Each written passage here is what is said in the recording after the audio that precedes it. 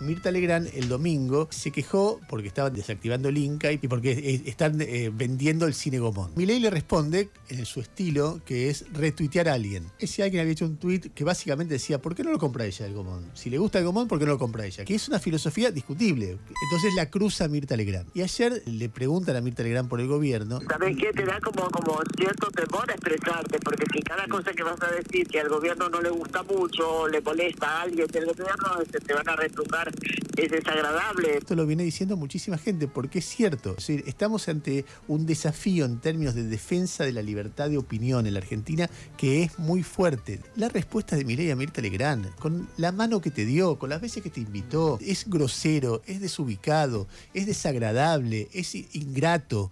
todo eso junto en esa respuesta que podría haber sido un poquito más respetuoso y piadoso. O sea, toma la sopa, Milei. ¿Qué querés que te diga?